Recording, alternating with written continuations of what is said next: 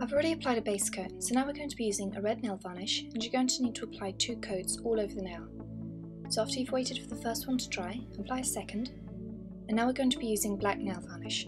So dipping a little bit on your worksheet, we're going to be taking a nail art brush. Now first thing you want to do is dip it into some nail polish remover, just so that the nail polish doesn't get too stuck to the fibres, and then mix it in with the colour you're going to use.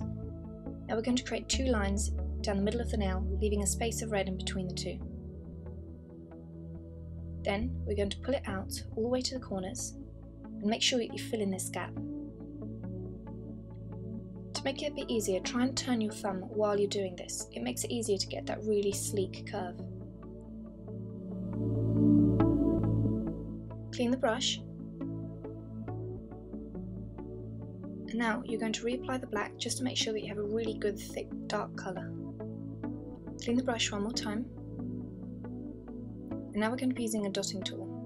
So taking the black, we're going to create two dots on either side. And then taking a white, we're going to put a bit on the worksheet. And we're going to create the eyes.